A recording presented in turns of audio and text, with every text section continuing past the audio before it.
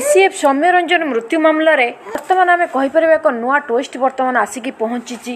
ଯେଉଁ ଗଙ୍ଗା ପ୍ରଧାନ ଡିଏଫ୍ଓଙ୍କ ନାଁରେ କହିଥିଲେ ନିଶ୍ଚିତ ଭାବରେ ଆମେ କହିପାରିବା ଆପଣ ଗତକାଲି ଭିଡ଼ିଓ ଦେଖିଥିବେ ଗଙ୍ଗା ପ୍ରଧାନ କେମିତି ବିସ୍ଫୋରକ ବୟାନ ଦେଇଥିଲେ ଡିଏଫ୍ଓଙ୍କ ନାଁରେ। ଗଙ୍ଗା ପ୍ରଧାନଙ୍କ ବିସ୍ଫୋରକ ବୟାନ ପରେ ଆମେ କହିପାରିବା ବର୍ତ୍ତମାନ ଡିଏଫ୍ଓଙ୍କ ସହିତ ବଡ଼ ବଡ଼ ପ୍ରଶାସନ ମଧ୍ୟ ଚିଙ୍କି ଉଠିଲେଣି। କାହିଁକିନା ଗଙ୍ଗା ପ୍ରଧାନ ସେମିତି କିଛି ସତ୍ୟତା ସହିତ ଆମେ କହିପାରିବା ଜୋରସୋରରେ କହିଛନ୍ତି ଡିଏଫ୍ଓଙ୍କ ନାଁରେ। ତେଣୁ ବର୍ତ୍ତମାନ ଡିଏଫ୍ଓ ଗଙ୍ଗା ପ୍ରଧାନଙ୍କ କବଳରୁ ବଞ୍ଚିବା ପାଇଁ ବଡ଼ ବଡ଼ କଥା ମାନେ ବହୁତ ବଡ଼ ମାନେ ଚାନ୍ସ ଖୋଜୁଛନ୍ତି ବା ପ୍ଲାନ୍ ମଧ୍ୟ କରୁଛନ୍ତି।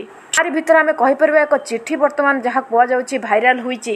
ଚିଠିରେ ଆମେ କହିପାରିବା ଯିଏ ଗଙ୍ଗା ପ୍ରଧାନ ରହିଛନ୍ତି ତାଙ୍କୁ ଡିସେମ୍ବର ଦୁଇ ହଜାର କୋଡ଼ିଏ ଡିସେମ୍ବର ଏକତିରିଶରେ ହିଁ ତାଙ୍କୁ ଚାକିରି ଛାଡ଼ିବାକୁ ଯେଉଁ ଚିଠି ଲେଖାଯାଇଥିଲା ତାପରେ ହିଁ ଏଇ ଯେଉଁ ରହିଥିଲା କାର୍ଯ୍ୟାଳୟ ରହିଛି ଆମର ଡିଏଫ୍ଓଙ୍କର କାର୍ଯ୍ୟାଳୟ।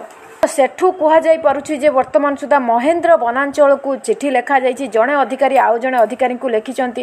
ନିଶ୍ଚିତ ଭାବରେ ଏ ଚିଠି ଉପରେ ବର୍ତ୍ତମାନ କୌଣସି ଥନାଗନା ହୋଇନାହିଁ କିନ୍ତୁ ଏ ଚିଠିକୁ ନେଇକି ବର୍ତ୍ତମାନ ବଡ଼ ଖୁଲାସା ହେବ ବୋଲି ଆଶା କରାଯାଉଛି। କାହିଁକିନା ଡିଏଫ୍ଙ୍କୁ ବଞ୍ଚାଇବା ପାଇଁ ବଡ଼ ବଡ଼ ରଥି ମହାରଥୀ ଆମେ କହିବା ସମସ୍ତେ ଲାଗି ପଡ଼ିଛନ୍ତି କାରଣ ଡିଏଫ୍ଙ୍କର ପୋଲ୍ ଖୋଲିଗଲେ ଆଉ ସମସ୍ତଙ୍କର ପୋଲ୍ ଖୋଲି ଯାଇପାରେ ଗଙ୍ଗା ପ୍ରଧାନ ପରେ ଆମେ କହିପାରିବା ବର୍ତ୍ତମାନ କ୍ରାଇମବ୍ରାଞ୍ଚ ପାଖରୁ ପୋଲିସ ପର୍ଯ୍ୟନ୍ତ ଯାହା କୁହାଯାଉଛି କ୍ରାଇମବ୍ରାଞ୍ଚ ଜେରା କରିବ ବିଦ୍ୟାଭାରତୀକୁ ବିଦ୍ୟାଭାରତୀ ଯିବେ ପାରଳା।